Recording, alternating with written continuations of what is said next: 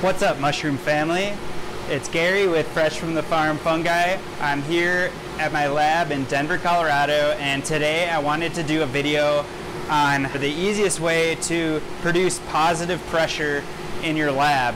So I did a video um, not too long ago that I'll post the card if you want to check that video out on the reasons why you would need positive pressure in your lab, or I'll post the link in the description. Um, but the idea is that you're going to generate enough pressure inside your laboratory that it's going to keep bugs and other contamination from coming into your lab because all the cracks and crevices and doorways will have air flowing outward and that will prevent any contaminants from entering your lab. The easiest way, in my opinion, to do this, besides um, putting some HEPA filters in your ceiling and really having thoughtful HVAC systems in place is to just put a simple fan and a HEPA filter from the outside of your lab going in. So for me, I'm going to put it on a door. Um, this is my utility door, so I've got two entrances to my lab, and this will be really easy to access for when I have to change out my filter. Um, and then I, I really enjoy these uh, four inch fans from, it's a VIVOSUN and you just want to note the airflow direction. So basically, I'm going to put this on the other side of the door, attach this really handy HEPA filter to the end of the fan, and then I'm going to drill a four inch hole in the door so that the air will come through the fan, be filtered um, through the HEPA filter, which is 99.9% of particles. Then it's going to come through the blades of the fan and into the room and if I run this continuously, it will create a positive pressure inside this room and prevent contaminants from getting into um, my workspace. And I'm about to be diving into a really deep uh, breeding project. So I'm trying to minimize as much contamination as possible.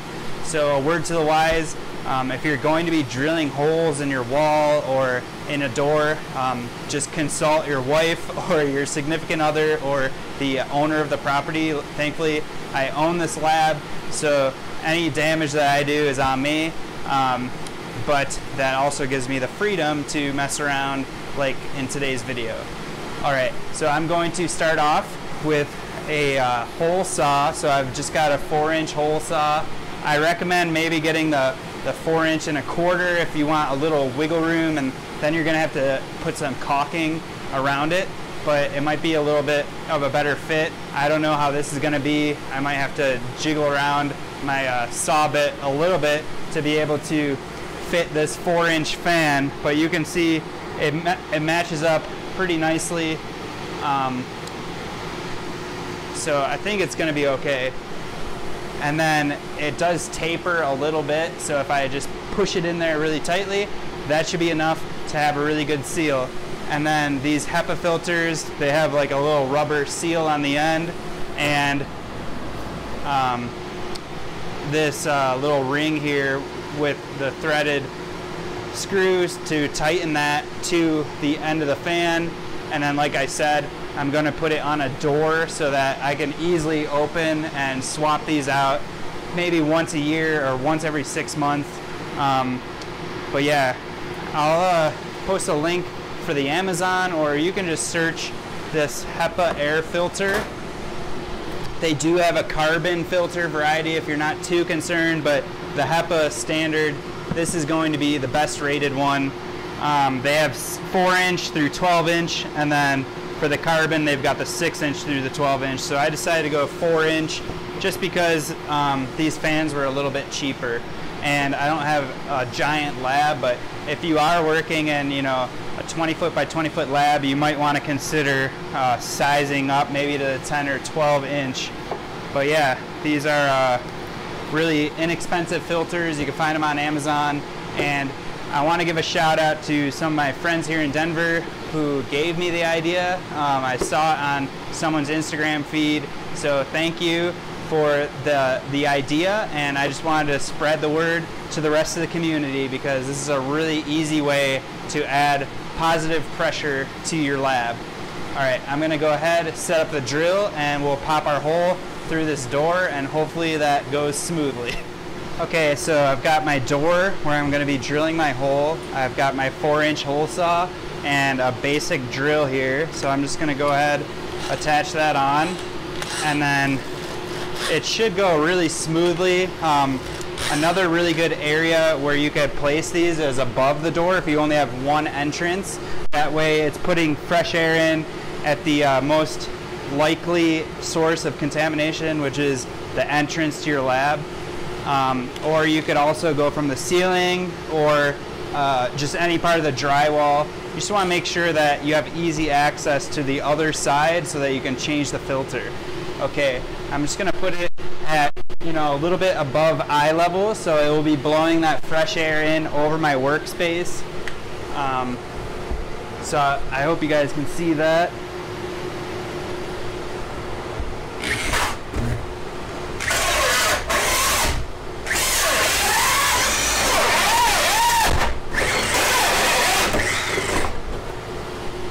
All right, so there's the hole. And now I'm going to just wipe this off and attach my fan and filter and we'll see how the airflow looks.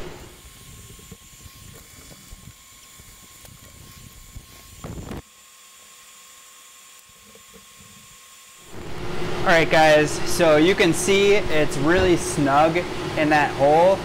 Um, I did go around a couple times with some handy dandy duct tape to give it a tighter fit. And if you're concerned about the weight, you can add an L bracket, an L bracket right on the bottom to support that.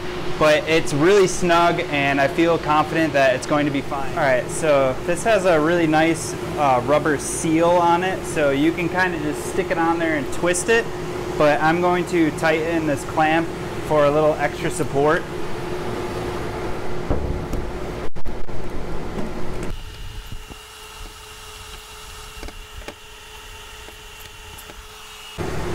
All right guys, so I've got it plugged in, it's operating. It does come with a little um, gauge to change the speed of the fan. I'm running it on high and I can definitely feel um, some positive pressure coming in.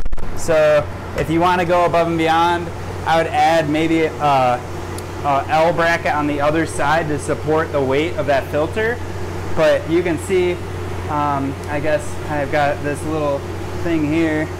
It's definitely pumping out a lot of air. And if you want to go uh, above and beyond, you can seal the edge of that, make it really nice. Um, they make you know, little covers for a four inch opening with a vent. Maybe put it down so that you're not blowing debris all over your lab. But you can see it was as simple as that. We've got a fully functioning HEPA filter in our door for our lab to create positive pressure. I hope you enjoyed that video. Give us a thumbs up. Um, subscribe if you're looking forward to more mycology videos like these. We've got running positive pressure in our lab now. So I'm going to be moving on to our breeding project for the winter. I'm planning on doing uh, a bunch of different variants of our current strains. I'm really excited about the golden oyster. I've got a few different phenotypes that I'm going to be combining into one solution so that I have more of a genetic variety and hopefully we come up with a really nice golden oyster strain. Um, that was one of my, my weakest strains from the past summer. I'm also going to be doing some different uh, Hericium strains. We've got Hericium coralloides that I want to run, um, some maitake. I'm still trying to figure out maitake. So if anyone has some tips on that, comment in the comment section below. But give us a thumbs up if you enjoyed the video on positive pressure and I look forward to the next video. Until next time, much love.